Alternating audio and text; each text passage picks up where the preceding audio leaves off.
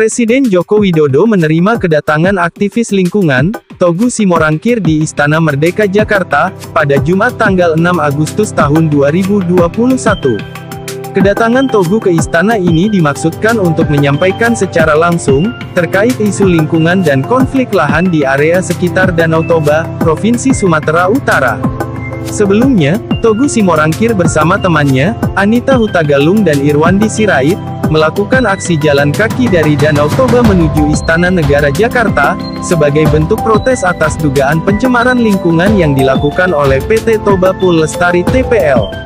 Selain itu, aksi ini juga merupakan respons atas bentrok PT TPL dengan masyarakat adat di Natumingka, Sumatera Utara.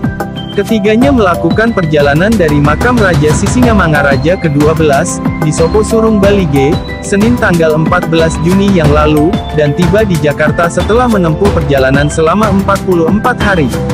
Tujuan dari aksi ini sebenarnya visinya itu adalah, kelestarian Danau Toba untuk kesejahteraan generasi mendatang. Presiden telah mengetahui permasalahan lingkungan yang disampaikan oleh Togu, selaku perwakilan tim 11 Aliansi Gerak Tutup TPL. Togu juga menyampaikan bahwa status Danau Toba sebagai kawasan strategis pariwisata nasional KSPN tidak sejalan dengan aktivitas-aktivitas yang merusak lingkungan. Bapak Presiden tadi mengatakan, kerusakan-kerusakan lingkungan yang sudah terjadi, mari kita tanami. Pemerintah siap memberikan bibit pohonnya, dan rencananya Bapak Presiden akan datang November atau Desember, untuk melakukan penanaman bersama dengan tim 11 dan masyarakat adat. Dan Bapak Presiden tadi mengatakan ada 15 tanah adat yang akan diselesaikan bulan ini. Tadi saya sudah melihat 5 yang sudah diselesaikan, dan 10 lagi akan diselesaikan beliau dalam bulan ini.